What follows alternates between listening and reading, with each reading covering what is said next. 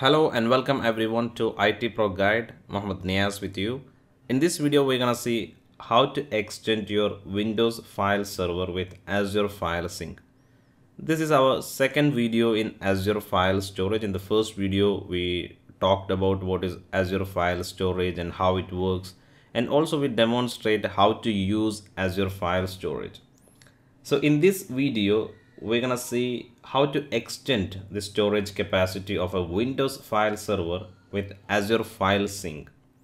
Azure File Sync is a feature or a service from Azure File Storage. So once you create Azure File Storage in Microsoft Azure, you can enable this feature Azure File Sync and by this way, you are able to synchronize your on-premises Windows file server with Azure File Storage.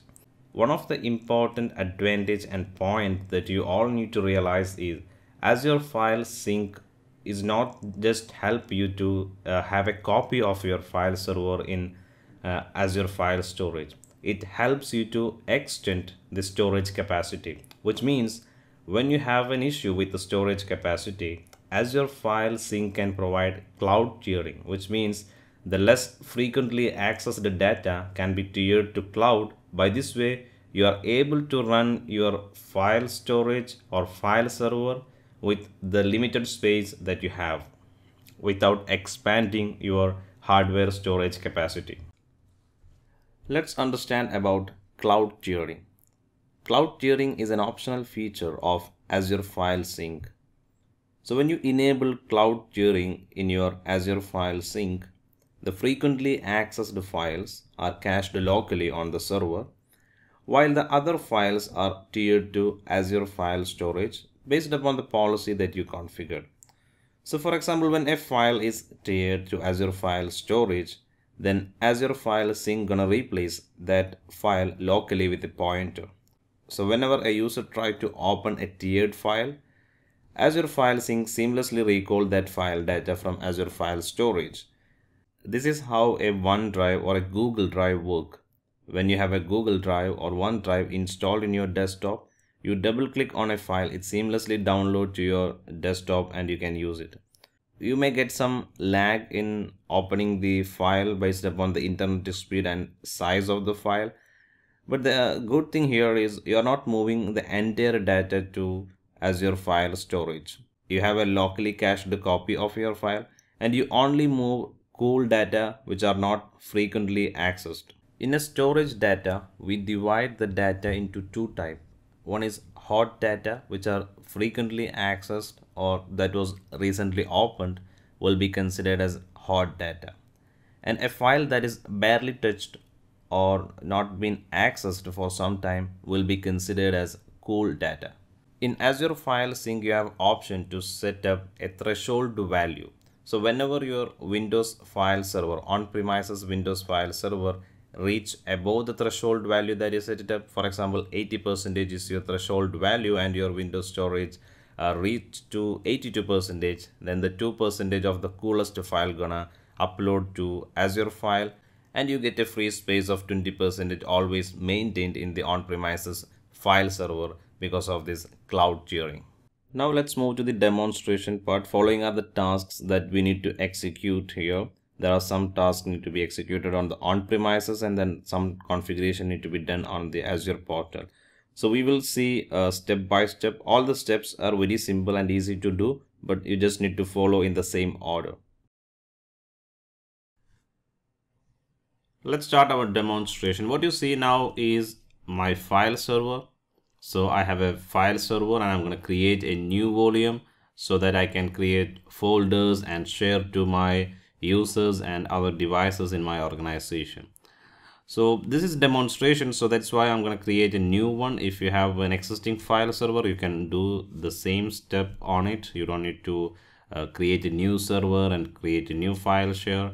You can work on the existing one because that is a title or that is a core idea of extending a Windows file sh share using Azure file share. So now the drive is ready and uh, let's go and find it. That is E file share. And I'm going to copy some uh, content to our the file share so that we once we sync we can verify that the data is uh, uh, synchronizing with uh, the Azure file share. Now the file server is ready. We have some uh, demonstration data inside the file server so that we can check the synchronization with the Microsoft Azure file share once it's done. So let's go back to Azure portal and create a storage account. In the beginning of this demo, we see how to create a storage account. So it's quite easy for you. Just go to storage accounts, then click on the add button and create a new storage account. For this demonstration, I'm going to create a new resource group. If you have an existing resource group and you have some virtual machines on it, you can choose that if you want to connect this file share to that existing virtual machines. For this demonstration, I'm going to use a new resource group, then give a storage account name and that need to be unique, then choose a location. Uh, better to choose the same location what you have uh, for the other resources once you complete the wizard and pass it the validation, then click on create to store to create a storage account. Now, now the file share is ready. Now the storage account is ready. Let's go and create a file share. Then click on file share to create a new file share.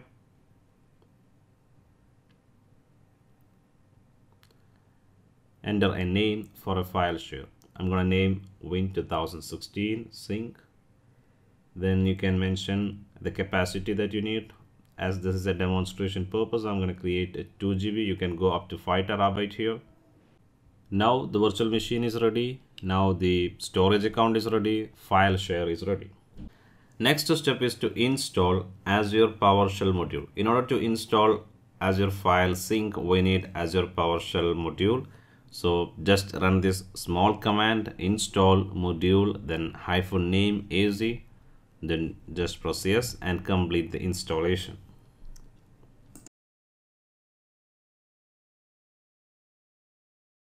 so the next step we have is to create azure file sync. As i mentioned before azure file sync is a is a feature inside azure storage azure file storage. So for that uh, go to create resource and search for Azure File Sync then click on create Azure File Sync. Then you can see you have four choices. Uh, first one is to select the subscription the second one is to select the resource group. You need to make sure that you choose the same resource group that you have chosen for the storage and file share that we have just created before then make sure you have uh, uh, selected the same region also so give a meaningful name for the storage sync service, then click to create Azure file sync. The next step is to create a sync group. Now the deployment is completed. So let's go to the resource that is our Azure file sync. Uh, we named this Windows 2016 synchronization. So the next step is to create a sync group. Click on sync group to create a new sync group. Then enter a meaningful name for sync group here it is file sync group then select your subscription then select the storage account that we created for this demo now the storage account has been selected so in the last list you will see a drop down list that is azure file share so this azure file share gonna synchronize with your local on-premises windows file server so let us create, go and click on create. Now the sync group has been completed.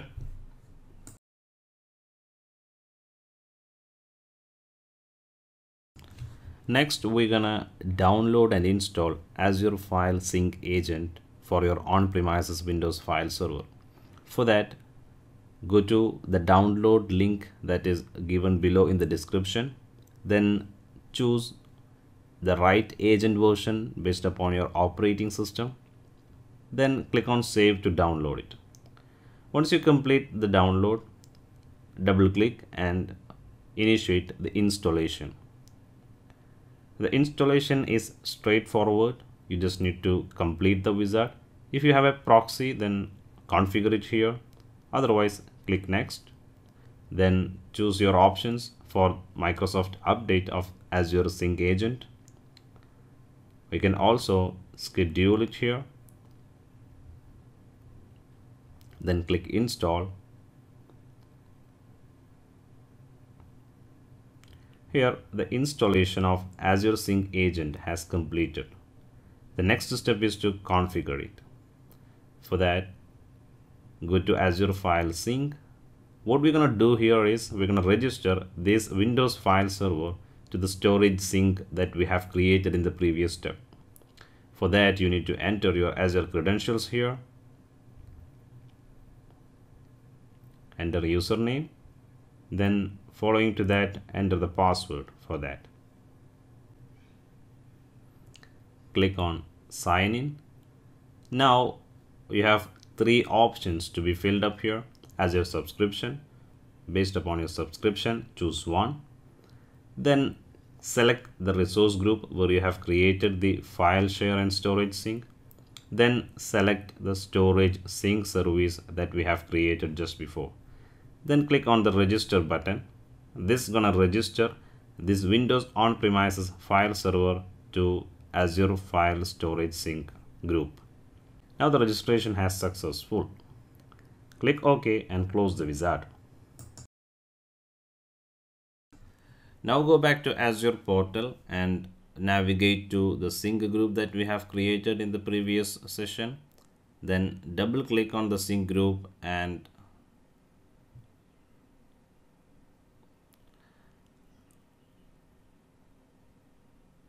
now you can see add server endpoint option and from the you can from the drop down list you can select the registered server because we completed the agent installation.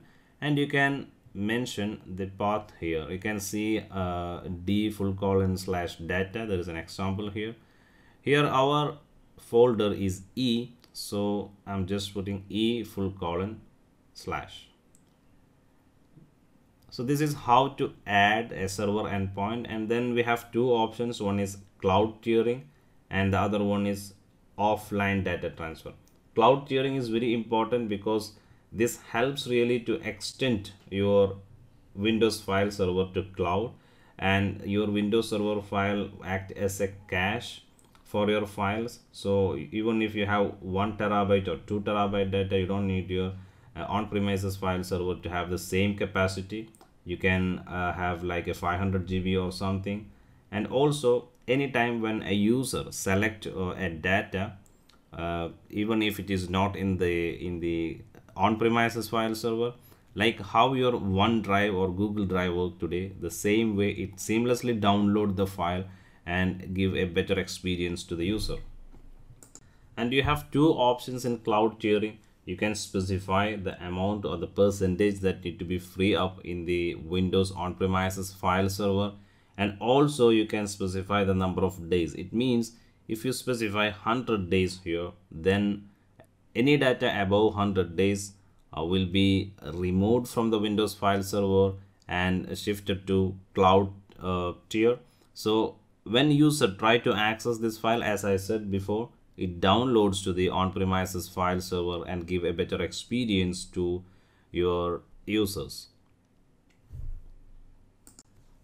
Offline data transfer is something different like if you have a large uh, amount of file then and your network is not that fit to transfer those high volume of data then you can choose offline data transfer which is like uh, an Azure data box you will get it is a hardware that you need to copy the things here there then send it to Microsoft. They will upload it for you. Then only the changes you need to sync uh, uh, after the Azure data box so those are the two options when you add a cloud uh, cloud when you add a server endpoint to uh, Azure file sync group.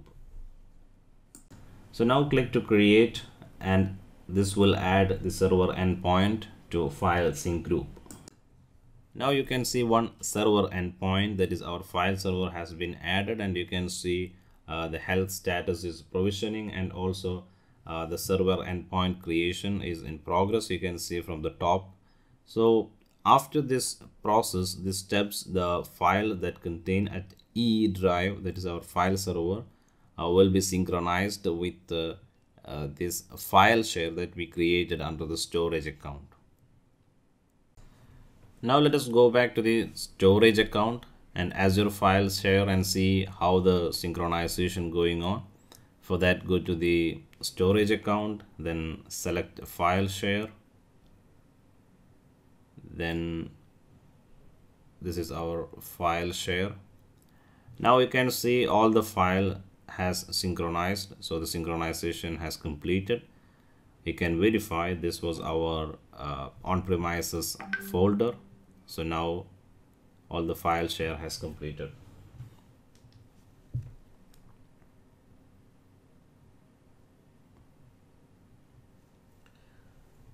When you go back to the sync group you can see uh, the upload and download details here. The file synced how many files synced and how many downloads happen and also the last sync activity. If you want to troubleshoot or something then you can see the last synchronization activity and also you can see details about the cloud tiering also.